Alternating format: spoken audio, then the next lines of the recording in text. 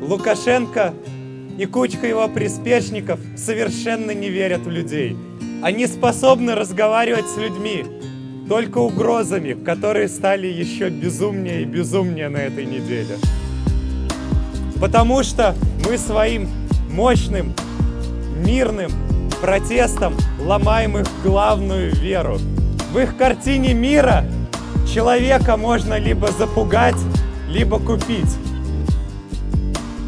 Мы же напротив верим, что в человеке есть что-то хорошее. Эта наша вера еще долго будет подвергаться испытаниям, но мы должны их с честью пройти, продолжая наш мирный протест. Мы должны продолжать поддержку друг друга и особенно тех, кто живет в Беларуси. Так и только так мы победим не только диктатуру, но и построим прекрасную Беларусь. Живе Беларусь!